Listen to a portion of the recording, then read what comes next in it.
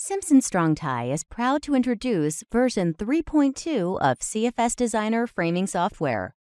Version 3.2 has added several important enhancements. Let's take a look at some of the changes. CFS Designer version 3.2 has made changes to its design tool layout. The layout has been reorganized based on groups, including wall framing, joist framing, general framing, X braces, shear walls, and wind module. Under the wall framing group, we have wall stud, wall with opening, stacked walls, and knee wall modules. In the joist framing group, we have floor joists and rafters modules. In the general framing are the general interaction and beam input. In X braces, we have simple and stacked, and under shear walls, we also have simple and stacked. The last module is our wind module. Let's take a closer look at the modules that are new or updated, starting with the new wind module. The wind module will calculate wind loads based on user-specified code, wind data, building data, and enclosure classification input. The user also has the ability to customize reports with a custom report section. An easy-to-read output is also created by clicking the Summary Report button. Another new feature added is our wall stud module. The wall stud module has been separated from beam input to allow more customization for vertical stud framing. The beam input module will still be available in its original format. The wall stud module allows the user to enter a spacing. You can select NA or enter any spacing. If NA is selected, the user will enter loads in pounds per foot. If the user selects a spacing, then the user will enter a load in pounds per square foot. In the image, the load will be shown in pounds per foot based on the user entered spacing and load.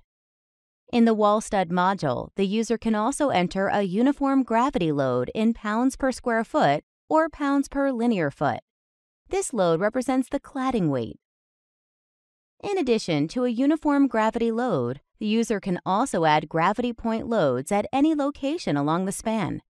The user will have the ability to add up to five gravity point loads on any wall stud. The summary report output for the wall stud module is also new. Output has been organized as a short report, but still provides all the necessary information in an easy to read format. In the Connections tab in the Wall Stud, Beam Input, and Wall with Opening modules, we have added options for connecting to cold-formed steel base attachments, as well as an option to select a base clip. The Wall with Opening module allows for a built-up lay-in header. Simply select Strong Back Lateral Track, and then select Gravity Member to be in weak axis, and CFS Designer will design a lay-in header for gravity and lateral loads. The Wall with Opening module has an on-screen connector summary report to help you more quickly view reactions and connections.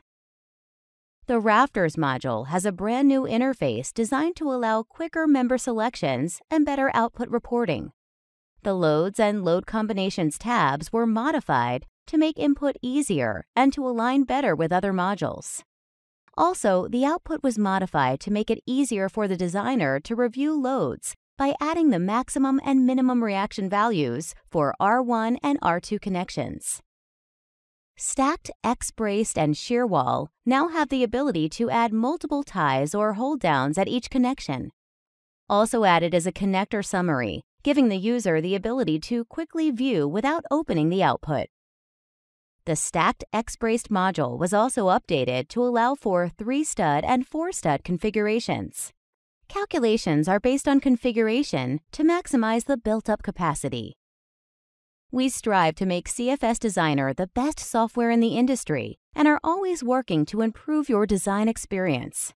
If you have any comments or questions, please email us. We would love to hear your feedback at asksimpson at strongtie.com. Also, please feel free to visit our website at strongtie.com/cfs to learn about Simpson Strong Tie Ready products. Ready products is our line of hand bendable track, hat, arch, and angle CFS members that simplify curved framing.